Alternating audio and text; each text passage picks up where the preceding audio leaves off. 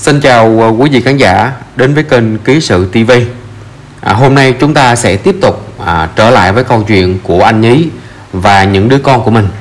À, theo thông tin mới nhất mà em vừa mới nhận được thì đến giờ phút này bên nhà ngoại vẫn chưa chấp nhận trả hai đứa bé cho bên nội như mọi người. Đây là một cái hoàn cảnh đặc biệt khi mà người vợ vừa mất là bên gia đình lại có những cái xung đột lục đục như vậy. Và đáng lòng hơn nữa là những người mạnh thường quân họ giúp những khoản tiền chỉ mong muốn là bên gia đình đó họ có một cái khoản vốn làm ăn. Nhưng mà không ngờ là chính cái số tiền đó nên gây ra những cái mâu thuẫn không đáng có. Và đến bây giờ trở thành một câu chuyện khiến hàng triệu khán giả bức xúc. À, ngày hôm qua anh nhí đã đưa người mẹ của mình bà con họ hàng đến để đòi bằng được là lấy lại hai đứa con từ tay bà nội ngoại. Nhưng bên ngoại cũng không có vừa. Bên ngoại cũng quyết tâm là giữ lại để nuôi chứ không gọi là đặt niềm tin ở bên nội. Mình thấy là rõ ràng là bên ngoại có niềm tin hơn, mình có niềm tin hơn. Bởi vì là bên ngoại dù gì, họ cũng là những người chăm sóc những đứa bé này 4 tháng này. Còn phía bên anh nhí và người bà nội, đặc biệt là bà nội, thì mình cảm giác là không hề có một chút tình cảm nào với đứa cháu của mình. Bởi vì là trong cái lúc mà bà nội đến thăm thì không có một cái hành động âu yếm hay là, gọi là thương nhớ gì hay đứa cháu cả rất là vô cảm luôn. Chỉ có thể là vì cái đồng tiền mạnh thường quân nên là bà nội mới chấp nhận đi cùng với con trai mình đến nhà để mà đòi lại cháu thôi.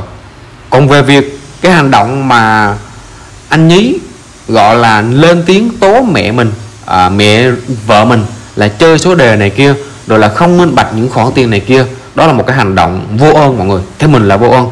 Bởi vì dẫu gì người mẹ cũng là người đã giúp mình thay mình chăm sóc những đứa con hơn 4 tháng qua mà mình đi làm lại không gửi về được một đồng nào để mà phụ cho người mẹ. Thì đây là một cái hành động vô trách nhiệm nha cô chú anh chị. Mình thấy bây giờ thì ờ, nhiều khán giả cũng linh binh anh nhí này, cho rằng anh nhí thì cũng có khổ tâm này kia. Nhưng mà theo mình thì anh nhí này cũng là người đáng trách trong câu chuyện này. Mình để ra được thì mình phải nuôi được. Biết là người vợ mất là không ai mong muốn cả. Đó là một cái điều mà xui rủi thôi.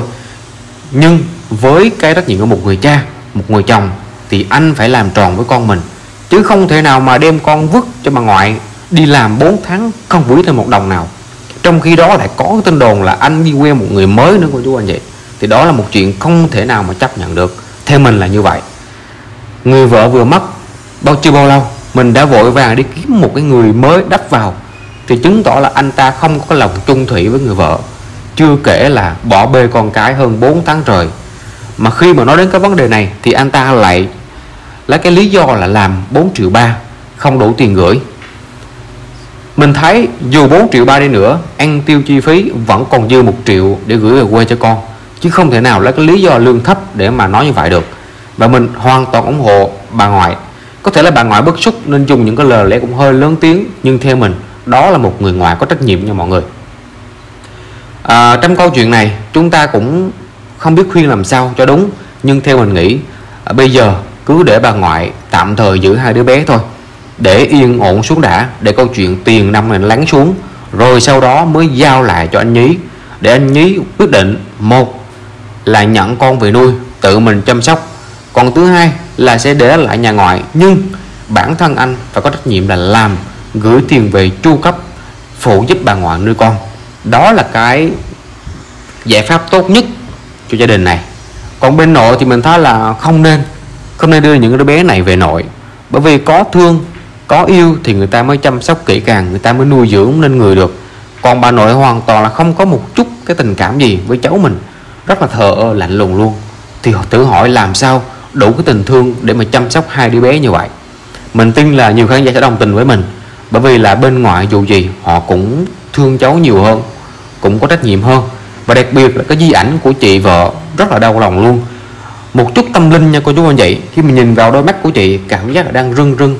Khi phải chứng kiến cái cảnh là mình vừa nằm xuống, thì những người thân của mình, những người ba, người mẹ, người chồng của mình lại đứng lên, đem cái chuyện tiền bạc ra, tranh cãi và xô sát với nhau, dùng những cái từ ngữ nặng nề nói với nhau. Đó là một cái nỗi đau của cái người nằm xuống nha mọi người. Đó là một câu chuyện mà mình thấy là nhiều khán giả bức xúc trong suốt cái thời gian qua. Khi tiền mạnh thường quân gửi về lại là một cái lý do để khiến gia đình này xào xáo như vậy. Đúng ra à, nếu một gia đình mà người ta biết cách à, gọi là thu vén thì khi mà có đồng tiền mạnh thường quân như vậy họ sẽ vô cùng mừng rỡ luôn biết ơn tận cùng. Bởi vì là không dễ đâu có một số tiền lớn như vậy cho mình để mình làm cái vốn làm ăn. Còn đằng này khi nhận được số tiền lớn như vậy họ lại bắt đầu xào xáo và đem những câu chuyện mà chưa ai được biết để mà đem bê móc trên cộng đồng mạng khiến hình ảnh gia đình xấu đi bà thương nhất trong cái hoàn cảnh này nhất là người đã mất và thứ hai chính là hai đứa con. Khi mẹ vừa mất đi à, người cha không lo được gì mà lại có đâu có tình mới này kia rồi bắt đầu chứng kiến những câu chuyện bà nội bà ngoại cãi nhau đánh nhau trước mặt mình như vậy thì hỏi thử làm sao những đứa trẻ này có một tâm hồn trong sáng được mọi người.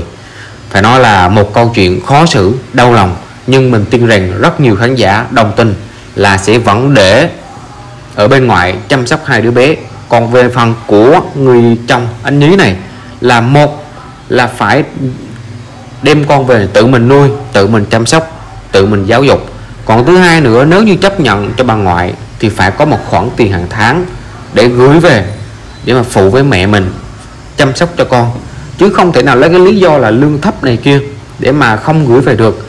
Thậm chí là người mẹ vợ còn nói là có một cái công việc ở gần nhà, lương khá cao, cũng ba bốn trăm ngàn một ngày, nhưng anh ta lại không làm để chọn lên Đồng Nai để mà làm một công việc 4 triệu ba như vậy. Một số người ờ, nói rằng là biết đâu được anh này là muốn lên Đồng Nai để gần gũi với người tình mới thì sao? Cũng là một cái lý do có lý nha cô chú anh chị. Thì mình tin rằng là qua cái câu chuyện này khi mà cộng đồng mạng lên tiếng nhiều như vậy và những um, cái video clip nó lan rộng như vậy thì người chồng anh nhí này sẽ có một cách nhìn nhận khác để biết cách làm sao uh, thu vén cũng như là xử lý công việc một cách nó ổn thỏa mình thấy là bây giờ thì ờ, câu chuyện của nhà anh nhí đã khiến hàng triệu người quan tâm rồi. Và đau buồn nhất đau lòng nhất vẫn là cái tấm di ảnh thôi. Khi mà nhìn vào đôi mắt rưng rưng à, của người vợ trên tấm di ảnh chúng ta ai cũng không thể nào kìm được xúc động cả. Bởi vì đây là một người vừa mới mất nha mọi người mà để là hai người con thơ như vậy trong khi đó chồng mình không có trách nhiệm và khiến những cái câu chuyện xào xáo nó diễn ra hai bên rất là đau lòng luôn. Chúng ta cũng hy vọng là bên gia đình của anh nhí thì công khai xử lý thật là thấu tình đạt lý ha. Để làm sao uh, chăm sóc được hai đứa bé một cách nó trọn vẹn nhất để khiến người mất đi đó là người mẹ ra đi một cách nó thanh thản không còn vướng bận gì nữa. Thì đó là câu chuyện mà em cũng muốn uh, chia sẻ trong cái buổi sáng ngày hôm nay.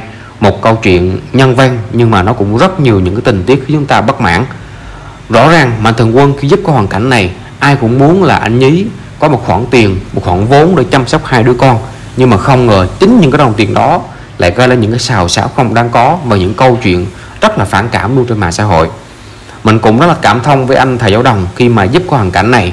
Anh là người đi nhịp cầu nối đi giúp, nhưng mà vướng phải một cái hoàn cảnh nó quá rắc rối đi, nên anh cũng rất là khó xử luôn, rất là thương luôn chú anh vậy. Thì hy vọng là bên gia đình anh nhí sẽ biết nhìn nhận lại câu chuyện và xử lý làm sao một cách êm đẹp nhất để vụ việc này lắng xuống. Và đặc biệt là hai đứa bé phải được chăm sóc nuôi dưỡng một cách nó tử tế, học hành đầy đủ, để không cái phụ lòng sinh thành của cái người vợ đã mất của mình. Thì đó là câu chuyện em muốn chia sẻ. Thì nếu khán giả nào có những góp ý cho kênh, hãy gọi về số điện thoại em có để trong video clip ha, để góp ý và em sẽ đăng tải lên để khán giả cùng nghe được những cái ý kiến của mình về cái hoàn cảnh này. Một cái hoàn cảnh đặc biệt nha cô chú anh chị, khi mà hai người xu gia vì dành cháu mà có những cái lời lẽ nặng nề cọc xúc và vô cùng là chợ búa với nhau. Rất là mong hai bên sẽ dàn xếp được vụ việc này và khiến cho nó lắng xuống để toàn tâm toàn ý mưu sinh và nuôi dưỡng hai đứa bé một cách nó tốt nhất. Nếu mà có tin tức gì mới những sự kiện mới những tin tiết mới về câu chuyện này à, cái sự TV sẽ lập tức chia sẻ lên ngay để khán giả cùng nhau dõi theo được. Và cuối cùng thì bên gia đình anh Nhí sẽ làm như thế nào để mà giải quyết vụ việc này một cách nó êm đẹp ha? À, chúc khán giả một à, ngày mới nhiều niềm vui và cũng đừng quên ủng hộ cho em bằng cách là đăng ký kênh à, chia sẻ video clip xin chào và hẹn gặp lại trong những video tiếp theo ạ à.